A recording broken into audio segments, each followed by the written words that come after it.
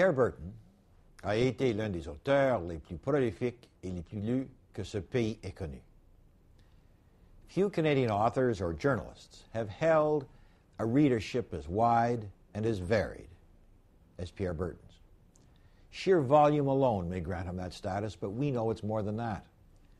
People read Pierre Berton because he speaks directly to us, telling us in that crisp, pointed, bemused style of his about the raucous lives and the times of our past. His writing has entered our own lives, making this country real, more alive, recognizable, and special to each of us. We miss him. We miss his insight into the Canadian soul. We miss his cantankerous views. He once said, on becoming a writer, ignore the advice of friends and amateurs. Work, read and learn from others, and above all, try to have a good time. Well, you know, we would all do well to follow his advice.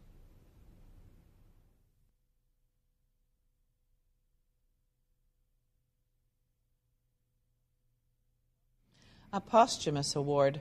I guess that is what you have to call it. I just pretend that he's still alive and shouting. Pierre in life and especially in work was turbocharged, and as a journalist, he was relentless in his pursuit of a story, especially if it involved any kind of injustice.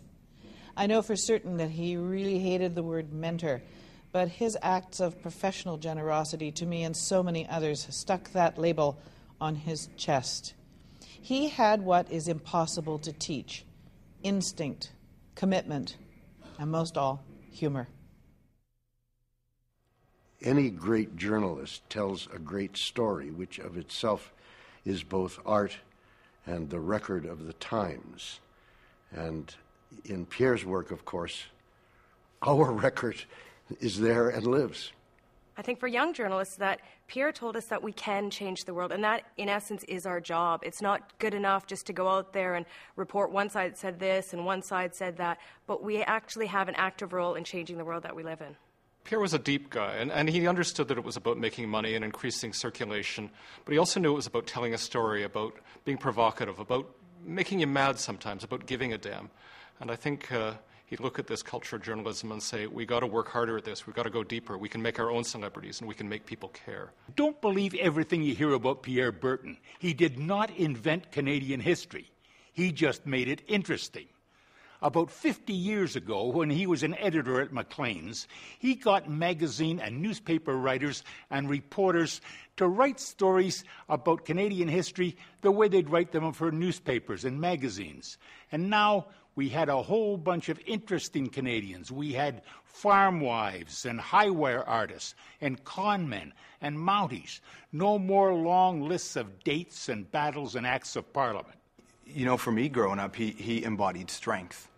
His, what he brought to journalism, what he did with words, because however many words there are in the English language, he chose a certain series of combinations that made me think I was learning something that made me think I was proud but not too proud.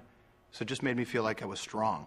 And I think that's what, I th- what he brought to journalism for me, what he brought to writing, was you got to be strong about somebody else's information. I met Pierre Berton when I took him to lunch for my lunch column. And what I liked about him was that he understood journalism. So when I wrote about his bushy father of Confederation eyebrows, his shaking hands, and his his memory, which was kind of faulty, he didn't take offense. He understood what I was doing. And I remember most people get very angry with me after lunch, but Pierre invited me to one of his legendary fundraisers, the Binder Twine Festival. He invited my whole family. He was very gracious. And so I will remember him as a great journalist who understood the craft. I think the profession of journalism is under siege. In the UK, you've got the BBC ready to fire 4,000 people, 20% of its workforce. In the United States, journalists are afraid to criticize the administration. And in Canada, we have media convergence like never before with radio, television, newspapers all under one corporate roof.